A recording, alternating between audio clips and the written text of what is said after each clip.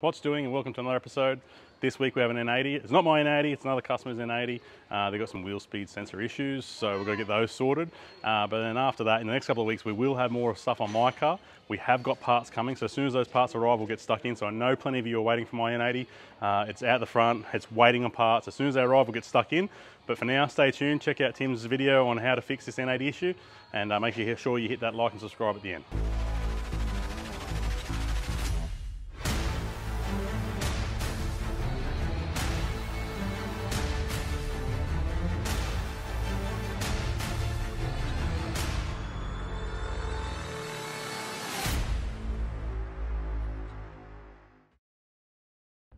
Hey guys, Tim from ProCheck Automotive here. So we have a little bit of an interesting one here today. We have a Toyota Hilux, a 2017. We have a intermittent dash light for the check engine and traction control, which we're reading as a vehicle speed sensor fault. The speedo still works in the dash, so this one is going to take a little bit of time to figure out. I'll walk you through what I found, and um, it may help you out one day. So to cut to the chase, to make this as short and sweet as possible, we did the basic checks, fuses, relays, um, all that sort of stuff. Used the live data to check for vehicle speed, all that sort of stuff. Uh, we didn't come up with a lot. Um, so the next step was to do a visual inspection of the car. Sometimes trailer plugs, things like that can cause dramas. So we've come around to the back of the car and um, I'll just show you what I found. So we found that the tail light wiring has actually shorted out against the tray.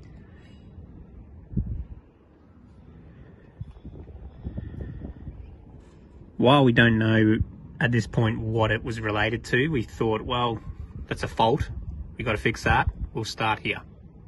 It's really common for a whole lot of different components to share the same earths in um, the modern day car electrical system. So following the wiring from the back of the car, we traced it up and we found in behind the stereo, um, well, I'll show you what I found. As you can see here, we've got a whole heap of burnt wires. Now, according to the wiring diagram, these share common earths with the vehicle speed sensor. So this is going to be the best place to start. There's no guarantee that this is going to fix the problem. This could have shorted out and damaged the sensor, but of course we need to repair this first before we can move on to the next stage of the diagnosing. Okay, so this is the first of the repairs done. So I've centered that plug now so it's not touching on the tray.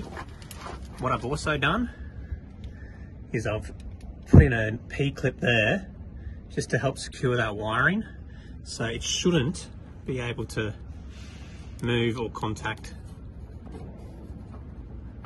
shouldn't be able to contact that metal plate again and short out.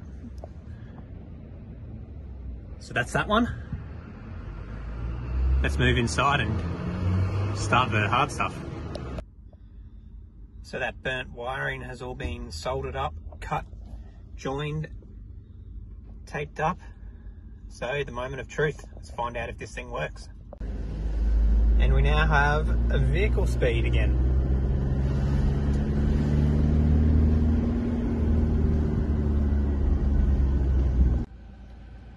Well, there you go. Um, out wiring from the um, number plate light. Bit of a weird one, uh, but hey, we got it sorted. That's the main thing. I've got to put all this dash back together now. But um, yeah, Hopefully this helps. If it did, leave a comment, uh, like, subscribe the video, and all that exciting stuff. Thanks heaps for watching. See yous.